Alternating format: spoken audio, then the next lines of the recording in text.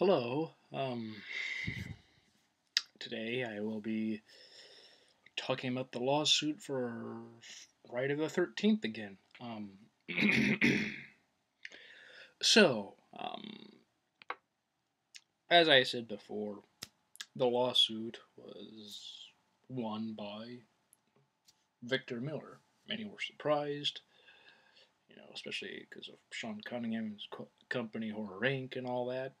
You know, people thought he was gonna uh, lose, and um, so um, there's two articles. Um, one from October 17th, a few days ago, and one from October 18th, or yesterday. Um,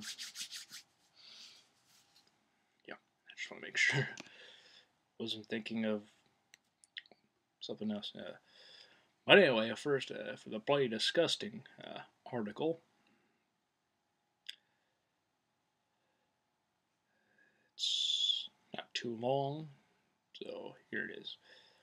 Earlier this month, Friday the 13th writer Victor Miller won uh, a lengthy legal battle against director Sean Cunningham and his Horror Inc. With a judge ruling that Miller is indeed entitled to the ownership rights in regards to the original film script. What that means for the character of adult Jason Voorhees, who didn't actually appear until the sequels were made, remains to be seen. But it's a big victory for Miller that Cunningham now has a limited amount of time to respond to. Horror Inc. can either settle with Miller or appeal the ruling. As the entertainment lawyer, Friday the 13th Part 3 star Larry Zerner explain, recently explained, so what happens next? Inc. Could, appeal, but that would be at least two and more likely three to four years of waiting for a resolution. Also, in my opinion, the chance of horror winning on appeal is poor. If Victor or if horror doesn't appeal, that then it has to make a deal with Victor in order to make a new movie. Victor only owns the U.S. rights to the original movie. Horror owns the foreign rights to the first movie and all the other movies. He added, hopefully Victor and Sean will work something out and get moving on a new Friday the 13th as soon as possible. Providing an update today, Zerner lets us know that Sean Cunningham only has until October 31st. Yes, literally Halloween Day. Go figure. Yeah, that's in parentheses. To file a notice appeal. If no notice is filed, then they make a deal, Zerner explains. If not, the fight continues for now. Needless to say, we're waiting with bated breath to see what happens next. Well, all seems good, right? Well, you know, um, you know, the month's almost up, so we're halfway done. So, uh, yesterday's article that I saw earlier that day, uh, yesterday has some more stuff uh, about this uh, coming to light. Um, so yesterday, L- Larry Zerner mentioned that Sean Cunningham and Horror Inc. had a deadline of October 31st to file an appeal to the ruling in favor of Victor Miller, which which saw Horror Inc. lose the lawsuit uh, against the writer of the original Friday the 13th film in a move that hopefully seemed um, coincidental with yesterday's revelation. Horror Inc. today filed an appeal of that decision, which will now drag out the rights, the battle even longer. And um, and here's something that I believe is from uh, Twitter, met by um, Larry Zerner.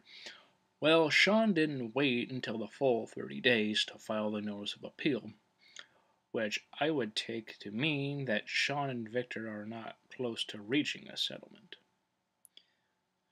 Larry mentioned to me, the author of this article, that this appeal could take place between 18 and 24 months. There's no settlement reached between Victor and Horror Inc. However, we both agree that there is no way they would drag this out if, or drag this out for that long when there is money being lost by not producing a new film during that time. So stay tuned for the next development. And this article was uh, from Friday the 13th franchise. So, yeah, um, I guess the him filing it, the appeal or whatever, didn't wait for the full 30 days to do so. Um, so, I guess no settlement has been made, and uh, they have until the 31st of October to reach a settlement, then an appeal can be made. So I guess until the 31st, if Victor Miller and Sean Cunningham can't come to some sort of agreement, then it looks as if uh, uh, any new movie is gonna take longer. Even though Horror Inc., somebody from there said they're going to make more Friday the 13th movies no matter what. But they kept omitting Jason Voorhees' name in their statement because it seems as if, even though they own the rights to adult Jason with the hockey mask and all, fact is, Jason Voorhees was introduced in the original film as a kid, so they don't have to ever have that version in the new movie. But it would seem Jason Voorhees' name is owned by Victor Miller in the U.S. And, um, and with the revelation of that, it seems as if uh, by Larry Zerner, who's uh, you know he's a lawyer, uh, entertainment lawyer, seems as if they're not they don't have a good chance of winning with it this appeal if they do apply again once 30 days and all has been gone through. Um, I guess at which time they can then have an appeal filed and see if get to court and all that. It's it, again, it's just make a deal. Okay, you should have made a deal before. Should have made a deal when this was all brought up. When after 35 years, when Victor Miller properly fi- uh, filed the paperwork to do what he could to get the rights back to the Friday the 13th film so we could own the U.S. rights because, well, you know, he wasn't getting really anything. Uh, he doesn't. He didn't get royalties. He doesn't get residuals every month. He mentioned in some interview, someone brought to my attention to when made a comment about that, how writers often kind of get screwed when a film they make, it doesn't seem like it's going to be much of anything, and they get paid X amount for their script um, that they wrote, and then got Bob from them, but they get nothing if it's a big success and possibly turns into a franchise like Friday the 13th. Miller has only gotten, in that article where the guy tried to say he was right and that, well, he has gotten paid because here, it says so. I'm like, well, if we're going to look at that exact article, what he says is every time there was a new sequel where Jason Voorhees, Camp Crystal Lake, etc., was all used or me- at least mentioned, he got money. Uh, so those, those years that those were being made and were and or came out, you know, whenever he got paid, So from that, he only got paid 11 more times because they always say, you know, characters created by Victor Miller. You know, he created Jason Voorhees. He wrote the original script. He created Mrs. Voorhees. He created Camp Crystal Lake. He created this and that within the films. All that was created by him. So, with all that in mind, yeah, it doesn't seem like Victor Miller got any residuals. And with him owning the original film, he will then get a bit of something. Uh, in addition to any other writing jobs he does, I know he wrote like soap operas and stuff for a time. Not sure if he does that still.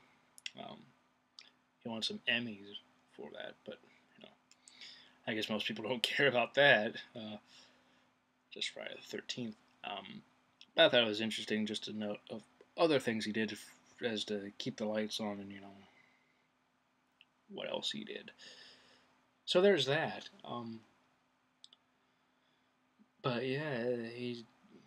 I think he just saw the success and he wasn't getting anything except for 11 years outside of the first year where he got a bunch, but like 11 years he got paid a, a bit of money because they're going to use his name in the credits. So they're probably like, well, we better pay him uh, so he doesn't like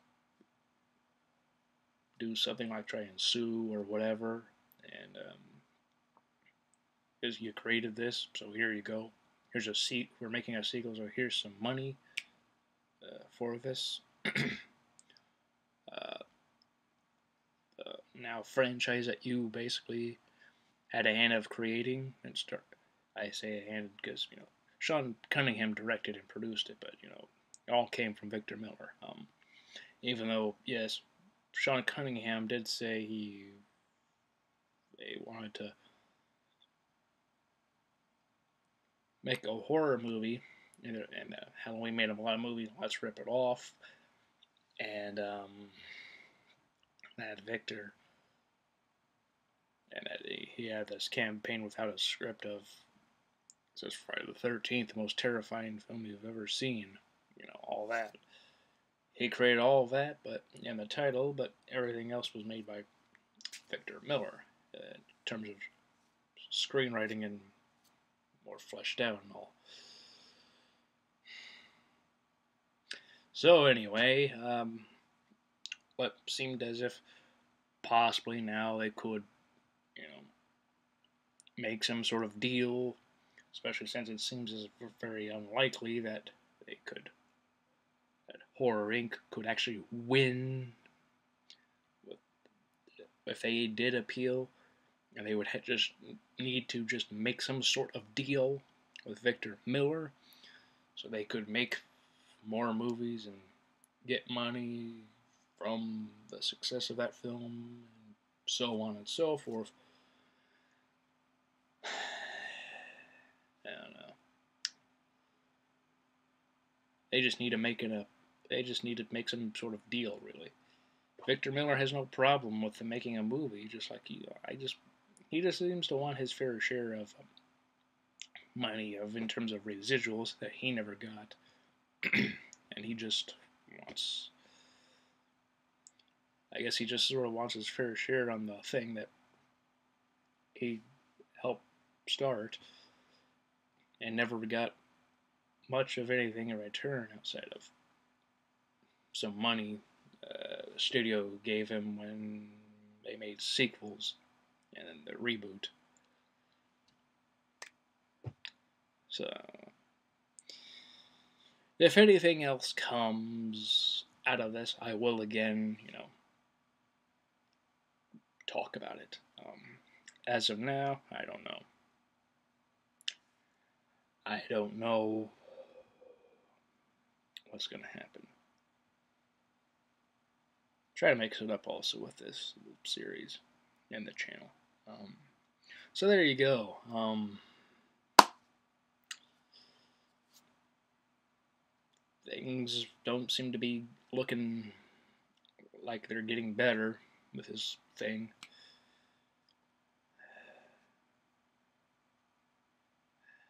Be great if they could just make some sort of deal, but I, I guess they don't want to make a deal. So anyway, I'm kind of rambling at this point, so hope you all have a good day, have a good weekend, and uh, you know Halloween came out today, so you gonna see it? Uh, I probably will at some point. Not sure if it'll be this weekend or what, anything, but yeah. Anyway, I'll talk to you all next time. Till then, just have a good weekend, everybody.